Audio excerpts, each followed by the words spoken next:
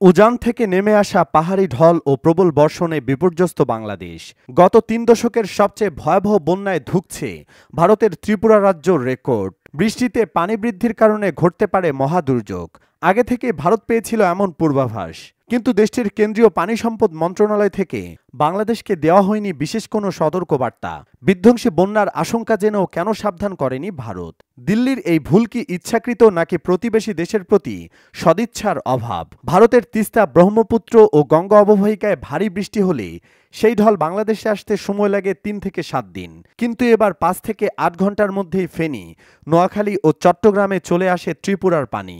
এমন জরুরি পরিস্থিতিতে দিল্লির উচিত ছিল অতি দ্রুত ঢাকাকে সতর্ক করা। বাংলাদেশের বন্যা পূর্বাভাস ও সতর্কীকরণ কেন্দ্র জানিয়েছে গোমতী ও মাতামুহুরী নদীর ভারতীয় অংশে পানি বৃদ্ধির আনুষ্ঠানিক তথ্য পায় বাংলাদেশ। কিন্তু বিস্তারিত জানতে না পারলে বন্যার সঠিক পূর্বাভাস দেওয়া কঠিন বলে মন্তব্য করেন প্রতিষ্ঠানটির একজন দায়িত্বশীল কর্মকর্তা। বাংলাদেশ ও ভারতের বৃষ্টিপাতের তথ্য অনুসারে ফেনী, কুমিল্লা ও ত্রিপুরা রাজ্যের উপর তিন দিনে রেকর্ড পরিমাণ বৃষ্টি। আবহাওয়া সংশ্লিষ্ট বিশেষজ্ঞরা বলছেন, দশ দিন আগেই দেওয়া যেত এমন বৎসরের সাধারণ পূর্বাভাস। আর তিন দিন পূর্বে দেয়া যেত শতকরা নব্বই ভাগ নিশ্চিত খবর। দুই দেশের যৌথ নদী কমিশনের মধ্যে তথ্য আদান প্রদানের সমঝোতা থাকলেও এই বিষয়ে নেই সুনির্দিষ্ট কোনো চুক্তি। উজানের দেশ হিসেবে বন্যার আগাম সতর্কতা দেওয়া ভারতের দায়িত্ব। কিন্তু সেটা না মানলে কিংবা গুরুত্ব না দিলে নেই কোনো রকম জবাবদিহিতার দাবি করার উপায়।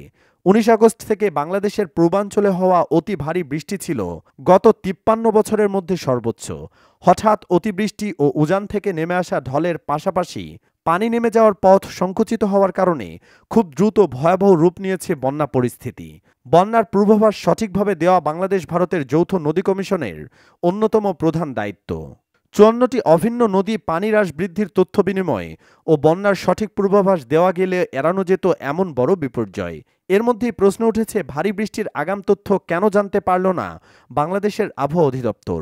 দু হাজার বাইশ সালে বাংলাদেশের চট্টগ্রাম বিভাগে করা হয়েছিল প্রায় বিশ হাজার নদী খেকো দখলদারদের তালিকা, যাদের বেশিরভাগই ছিল তৎকালীন ক্ষমতাসীন দল, স্বৈরাচারী আওয়ামী লীগের নেতাকর্মী। উজানের পানি নামার পথ ঠিক রাখতে কঠোর হাতে দমন করতে হবে নদী দখলের। অভিন্ন নদীতে ভারত যেসব বাদ দিয়েছে, সময় এসেছে সেগুলোর বৈধতা নিয়ে আন্তর্জাতিক মহলে কথা বলার। বিশেষজ্ঞরা মনে করছেন, আন্তঃসীমান্ত নদীতে বন্যা পরিস্থিতি নিয়ে ভারতের দায়সারা মনোভাব পরিবর্তন প্রয়োগ করতে হবে কৌশলী চাপ। পাশাপাশি এমন দুর্যোগ সময়ে উপযোগী পদক্ষেপের জন্য বাংলাদেশকে নিতে হবে দীর্ঘমেয়াদী প্রস্তুতি।